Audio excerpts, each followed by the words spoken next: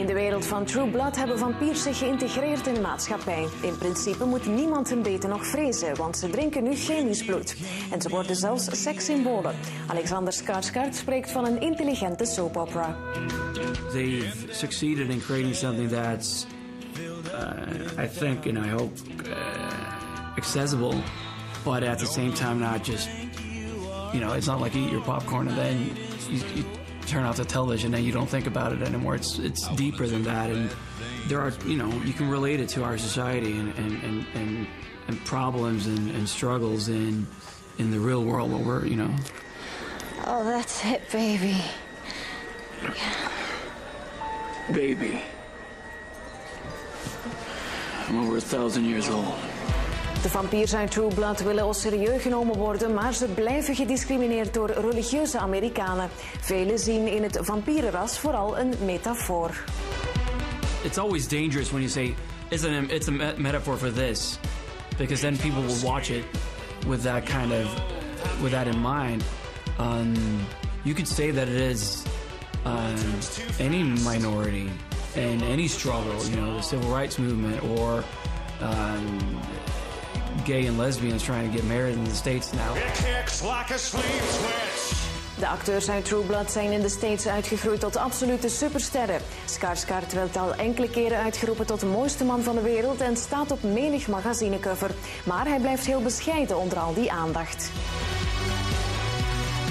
I try not to indulge in that.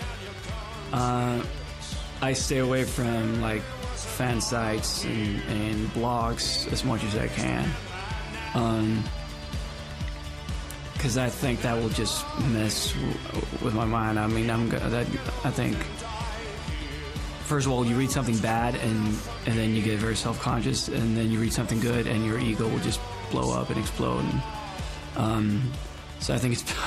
I think it's that kind of a way for me to stay sane, to just stay, stay away from that. Ook Lady Gaga was niet ongevoelig voor de looks en de populariteit van Skarsgård en huurde hem in voor de videoclip van Paparazzi. Een ironische song over de tol van de roem. Älskar du mig? Klart jag älskar dig. Puss puss. Jonas Ackerlund, uh, the director of the video, is a fellow Swede and a, and a good friend of mine.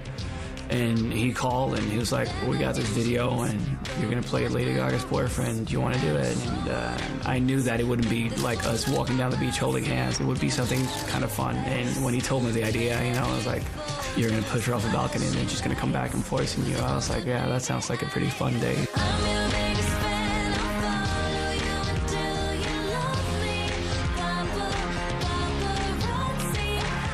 True Blood heeft er in de States al drie seizoenen op zitten, maar door de gigantische kijkcijfers is het einde nog lang niet in zicht. I think it can go on till I look too old. Because I can't age on the show. So when I'm 55, a bit of a stretch maybe. But there's ways these days. I know. Oh yeah, you're right. I live in LA. Botox. Het tweede seizoen van True Blood is nu uit op DVD en vanaf 15 oktober kan u op Canvas kijken naar het eerste seizoen.